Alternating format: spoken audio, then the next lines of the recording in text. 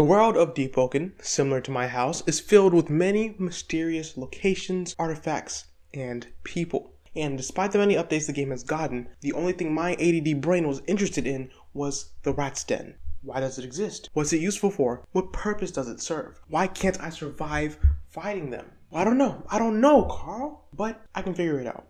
Earlier today, I got on my lowest level account and I went to Upper Erisia. If you're living under a rock or you're a newborn child and don't know how to get to the Rat's Den, take these next 20 seconds to learn.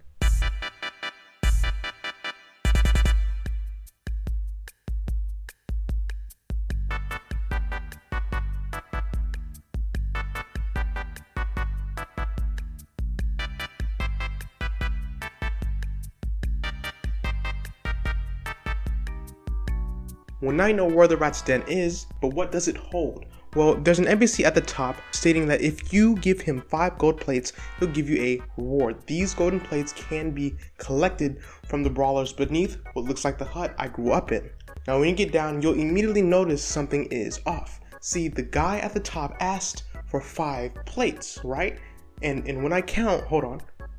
One, two, Three, that's only three. That's there's only three, but we need five. Let me one more time.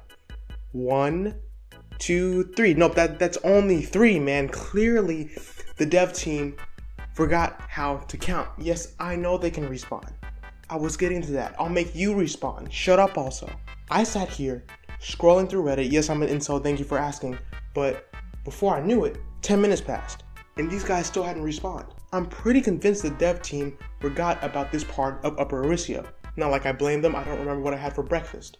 I tried to farm them on my fresh spawn, and after dying six to seven times, I asked myself, why don't you just get on one of your stronger slots? To which I responded, am I talking to me? I'm just a couple of guy having fun. Just jokes aside, once I got over my skill issue, I killed enough rats for five plates. The guy at the top said he had a reward, and I'm sure you've been dying to know what kind of reward. And I gotta say, it's pretty mediocre. It's about the same type of chest you'd get from killing a Sharko during the night.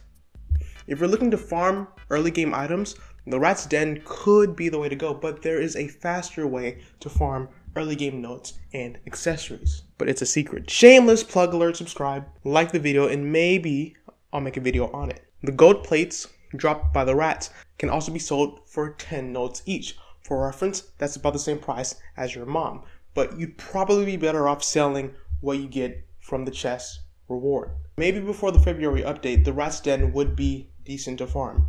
Maybe that's because it gives a decent amount of EXP and loot. Maybe the Trial of One update that I still have yet to beat makes it obsolete.